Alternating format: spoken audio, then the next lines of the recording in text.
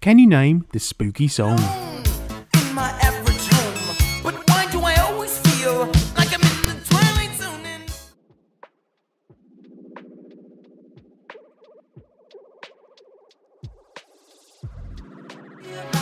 Somebody's watching me, and I have no privacy. In today's quiz, we will go through 40 more songs that, like Rockwell's Somebody's Watching Me, have some sort of spooky theme. The theme is a bit loose, but as long as the title or sound of the song is somewhat spooky, Halloweeny, evil, or just a bit questionable in nature, then I think it qualifies. Before we begin though, don't forget to like and subscribe for a bonus point. Good luck!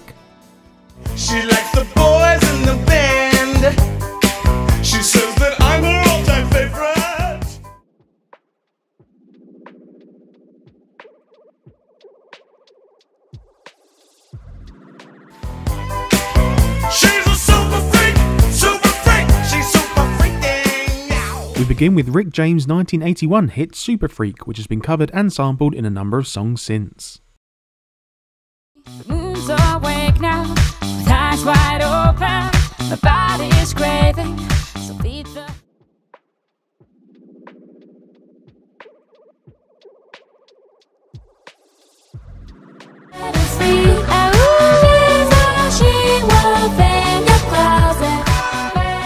In 2009, She Wolf was the title track on Shakira's eighth studio album.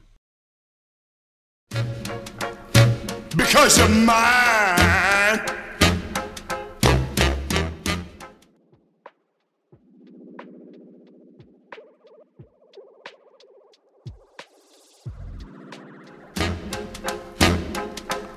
I put a spell on you. There's been plenty of recordings of I Put a Spell on You that's been released as singles or used in media, but it was Screaming Jay Hawkins with the original in 1956.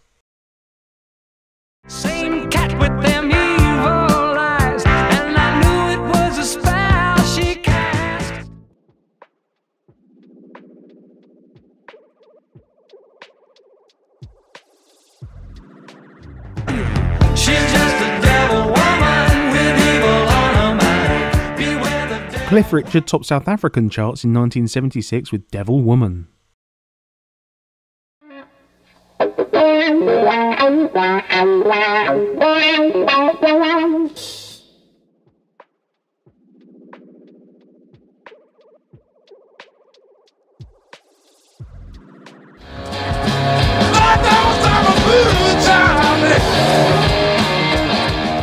Voodoo Child was originally on the Jimi Hendrix Experience 1968 album Electric Ladyland, with a song not released as a single until after Hendrix's death.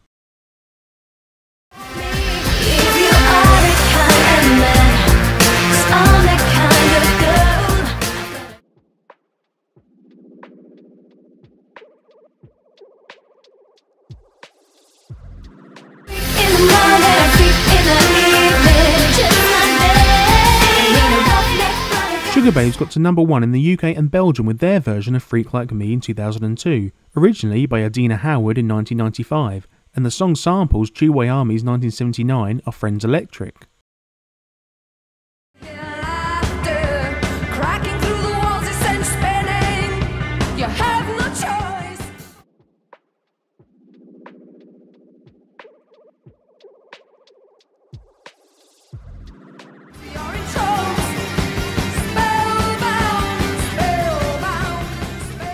And the Banshees included Spellbound on their 1981 album Juju.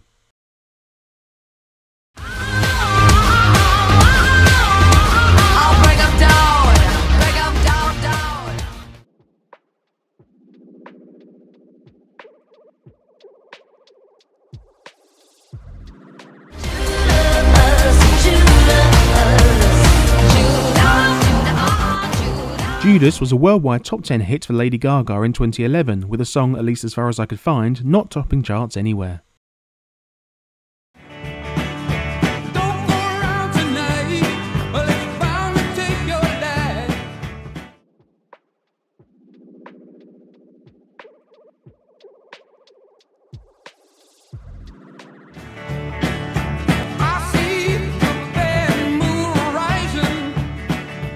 Bad moon rising. By Creedence Clearwater Revival was kept off the top of the US charts by instrumental love theme from Romeo and Juliet.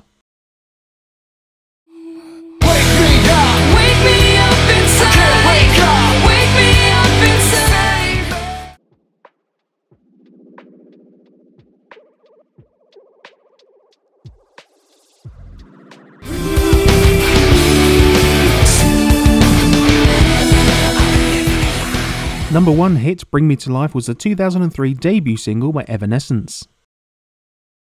I never dreamed that I'd meet somebody like you.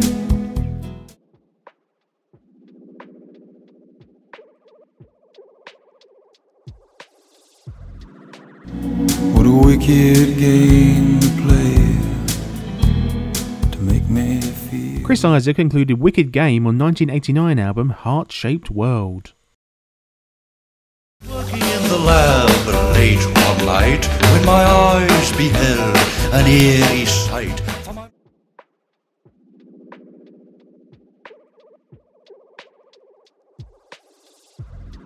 My surprise, He did the mash, he did the monster mash. the monster mash. It Bobby Pickett released Monster Mash in 1962, with the song still apparently generating $1 million every year in royalties. Hello, darkness, my old friend.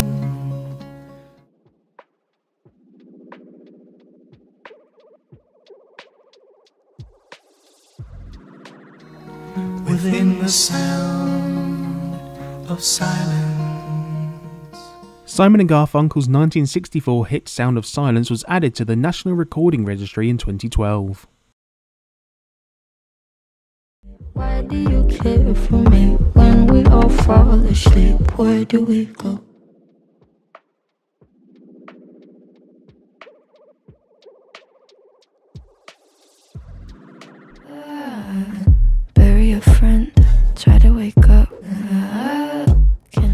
Billie Eilish gained platinum or higher certification in at least 16 countries with 2019 single Bury a Friend.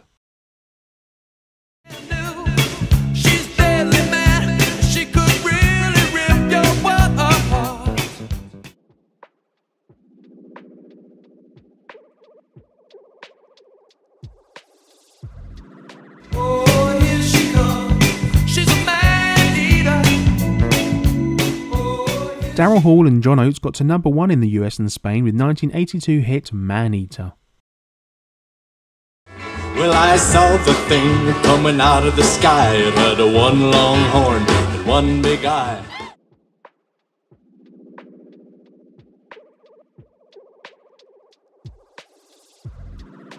It was a one-eyed, one-horn flying purple people eater. One-eyed, one-horn, flying purple people. American singer Sheb Wooley topped the Australian charts in 1958 with Purple People Eater.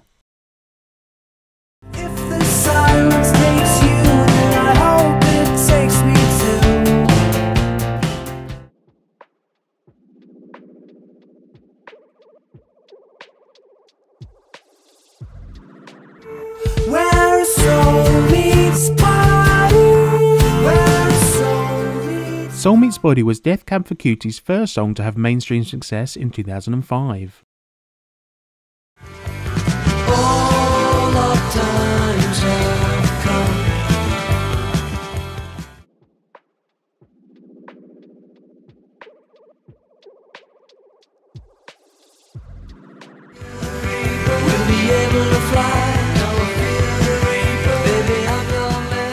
An inevitable inclusion in this quiz is Don't Fear the Reaper, which Blue Oyster Cult included on their 1976 album, Agents of Fortune.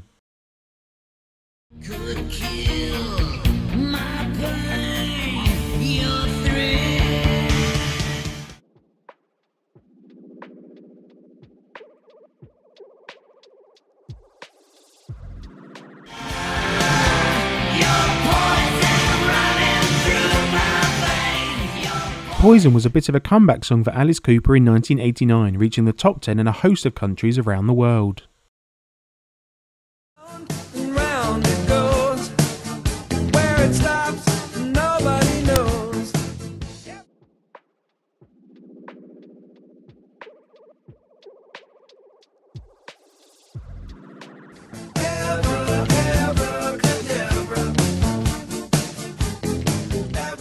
Steve Miller Band got to number one in at least eight countries with Abracadabra in 1982. But with the beast inside, there's nowhere we can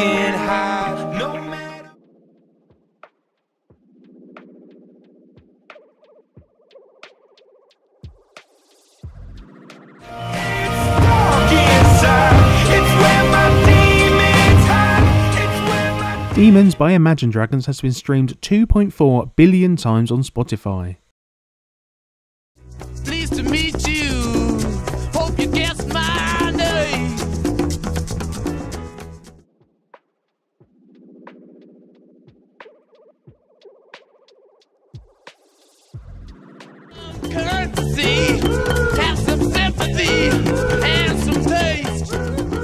Rolling Stones included Sympathy for the Devil on 1968 album Beggar's Banquet. Taste me, drink my soul, show me all the things that I shouldn't know.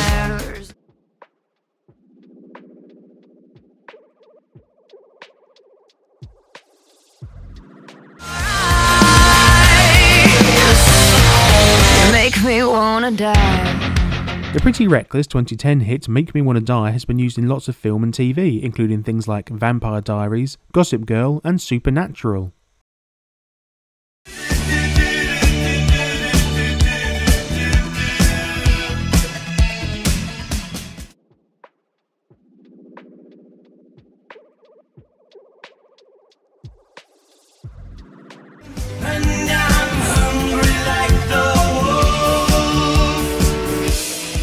Duran Duran won the first Best Music Video Grammy in 1984 with Hungry Like the Wolf.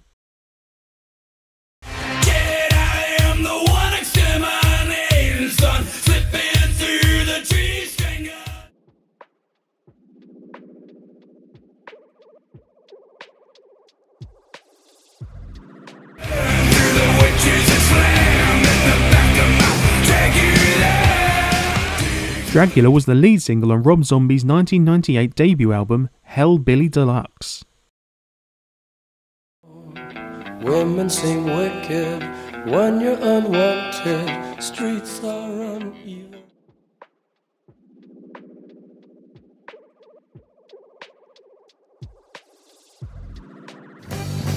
People are strange when you're a stranger. Faces look ugly. The Doors topped Canadian charts in 1967 with People Are Strange.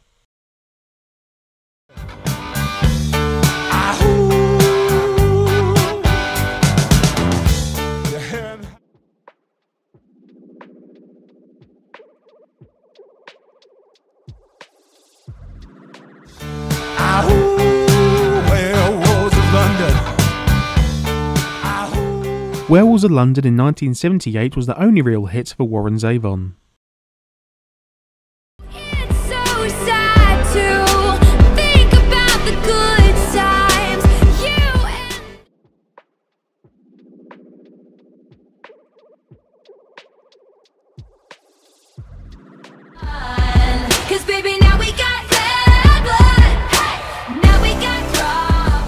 Kendrick Lamar and Taylor Swift collaborated in 2015 for platinum hit Bad Blood.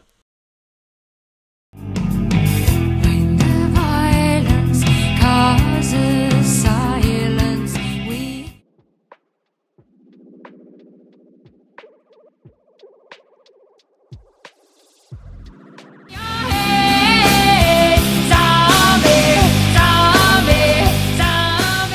Zombie has over 1.2 billion Spotify streams for the Cranberries.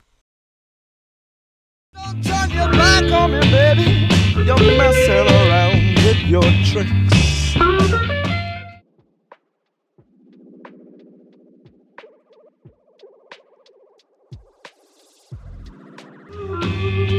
That she's a black magic woman and she's trying to make a devil out of me. Black Magic Woman was first released as a single in 1968 by Fleetwood Mac. Santana had some success with a cover just a couple of years later.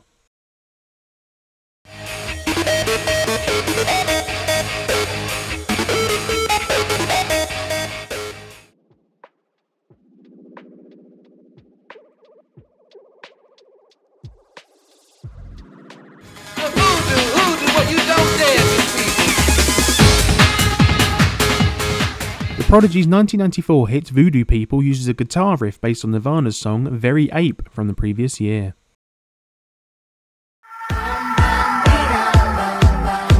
What's wrong with me?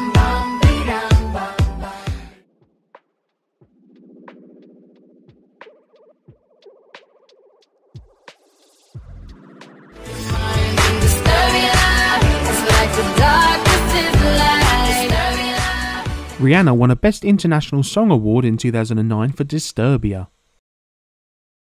The smell of death is all around. And when the cold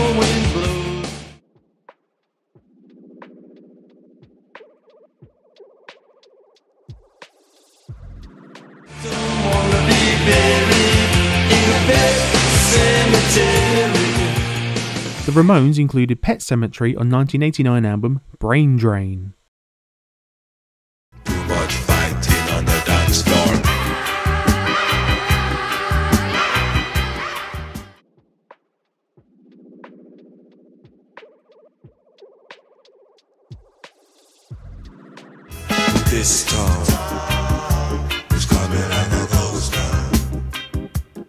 Ghost Town was a 1981 UK number one for the Specials.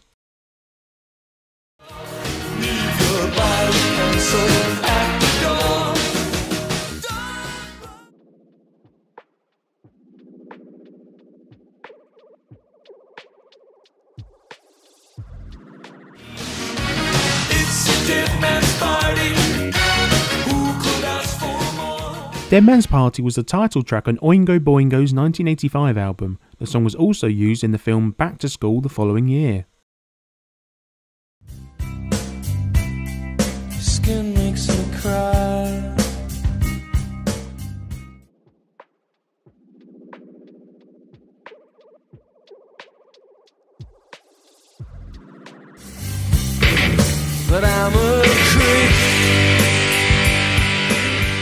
Creep was a successful 1992 debut single for Radiohead. It's close to midnight. Something evil's lurking in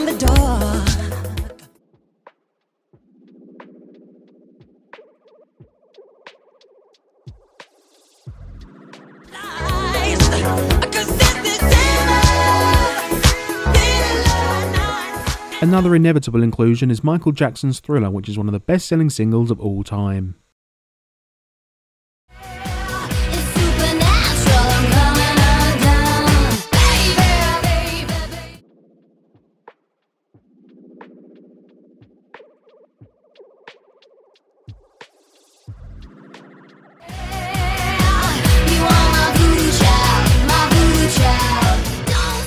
Very different to the Voodoo Child we had earlier on in the quiz is the Rogue Traders 2005 single, which uses a riff from Elvis Costello's Pump It Up.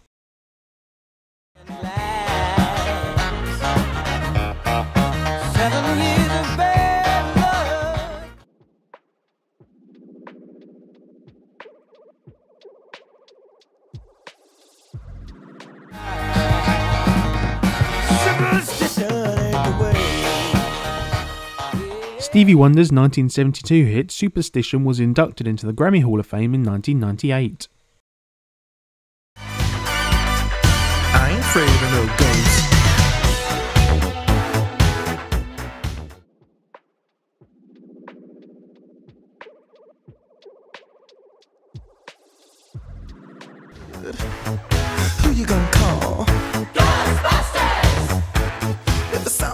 And we end with probably the most obvious inclusion Ray Parker Jr.'s 1984 Ghostbusters. So that's the end of this Spooky Songs music quiz. How did you get on with this one, and are there any other spooky songs that you can think of? Let me know in the comments, and while you're there, don't forget to like and subscribe for the all important bonus point and to avoid anything spooky from happening to you.